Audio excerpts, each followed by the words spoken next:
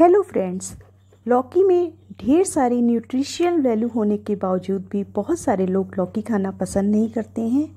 तो आज बनाते हैं लौकी की दो ऐसी डिशेस जो लौकी ना खाने वाले भी मांग मांग के खाएँगे।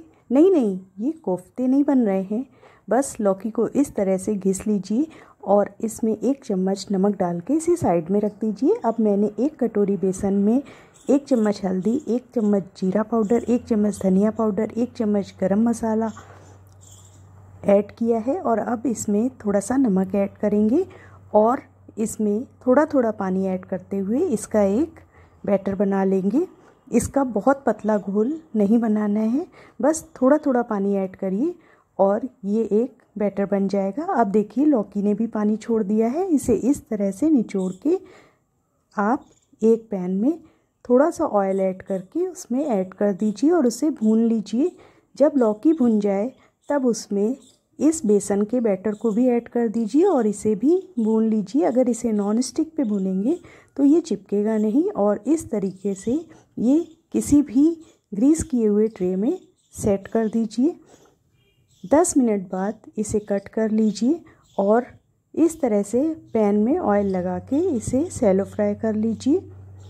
एक साइड से सेलो फ्राई करने के बाद अब इसमें दूसरे साइड भी ऑयल लगा दीजिए और इसे फ्लिप कर दीजिए। देखिए, दोनों साइड से कितना अच्छा पक गया है। इसे आप बच्चों के टिफ़िन में सॉस और चटनी से भी दे सकते हैं और चाय के साथ भी खा सकते हैं।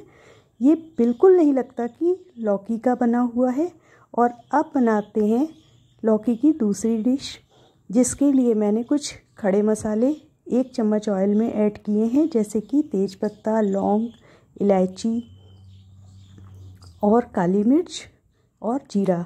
इसको ऐड करने के बाद, भूनने के बाद मैंने प्याज, अदरक, थोड़ा सा लहसुन और हरी मिर्च को भी इसके साथ भून लिया है। इसे बहुत ज़्यादा नहीं भूनना है, बस थोड़ा ही सा भूनना है। और अब इसमें मैंने एक मीडियम साइज़ की टमाटर को चॉप करके भुना है। साथ में इसमें टेस्ट के अकॉर्डिंग नमक ऐड किया है और सात से आठ काजू भी ऐड किए हैं। इन्हें भी थोड़ी देर भून लेंगे और अब उसे ठंडा करके ग्राइंड करना है।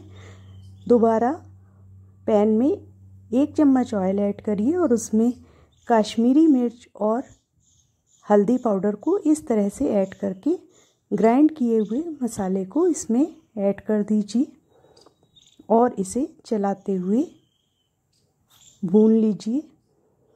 ये मसाला ऑलरेडी भुना हुआ है, ये बहुत जल्दी पक जाता है। देखिए, काश्मीरी लाल मिर्च से इसमें कलर बहुत अच्छा आता है।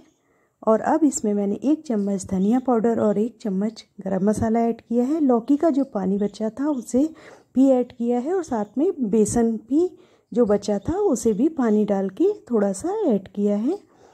इसकी ग्रेवी थोड़ी थिक ही रखनी है और जो पीसेस मैंने फ्राई किए थे, उनको इसमें इस तरह से ऐड कर देंगे।